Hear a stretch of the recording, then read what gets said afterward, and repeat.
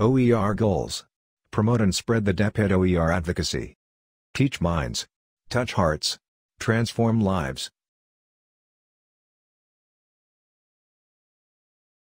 Equal access and opportunity with the aid of technology most especially in the remote and last-mile schools. Training and professional development for teachers. Support the public schools of the Future's Digital Rise program of the Department of Education. Produce OER materials aligned with curriculum guide. Strong partnership